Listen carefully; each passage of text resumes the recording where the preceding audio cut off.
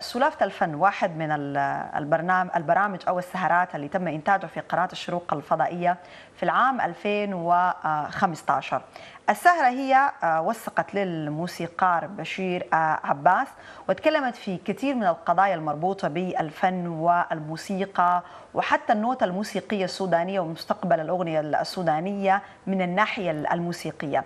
السهرة من إنتاج الزميلة رشا إبراهيم وإخراج الأستاذ محمد سليمان والسهرة هي مع الموسيقار بشير عباس.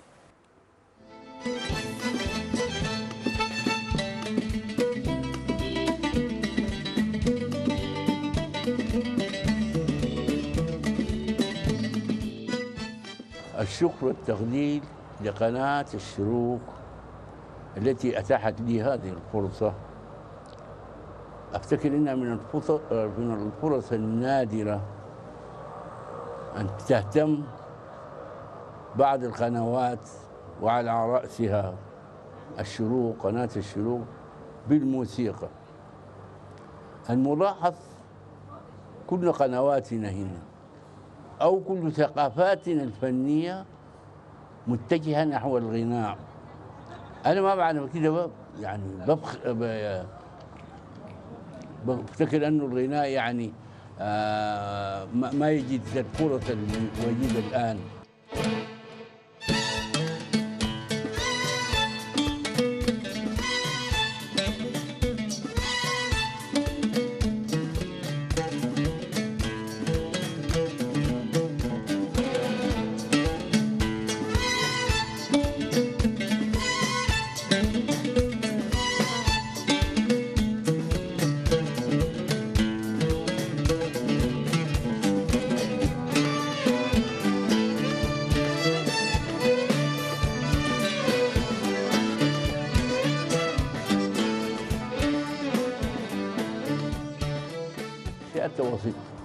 أسرة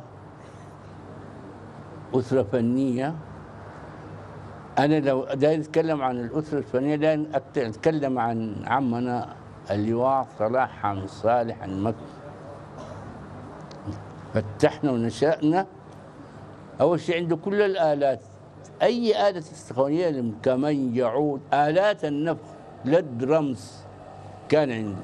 ده في وقت الناس ما بتعرف الحاجات دي يعني. كان بيشوفوها يعني الواحد بيستغرب إنه يشوف شخص واحد عنده كل الآلات دي. دائما يوريك إنه يعني نحن في حفايه المكونة في حفايه الجنوب فنيا فاتوا اللي وراهم والقدام قبل ما يعرفوا الحاصل شنو وفعلا يعني تاثرت بالبداية بعمنا صلاح دي لأنه كان حتى القربة القربة اللي هي بتاع السكوتش دي كانت عندي.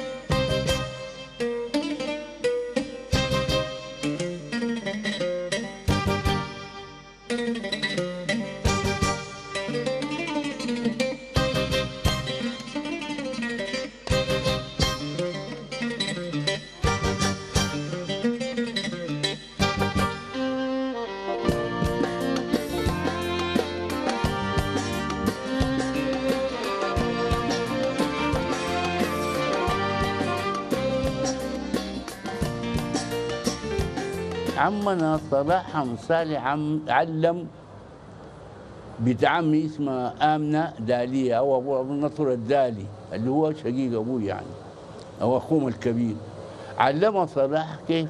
عزف العود وكان عندها ريشة ما تصير آمنة دي قبل أسمى لاحظ يعني يمكن بالمعنى ده أنه يكون أول امرأة سودانية عزفت العود في السودان تكون لكن طبعا في نطاق أسري. ما في هناي ولا يعني في حفلات عامة ولا أجهزة ع- مثلا إعلامية. في نطاق خارج داخل الأسرة.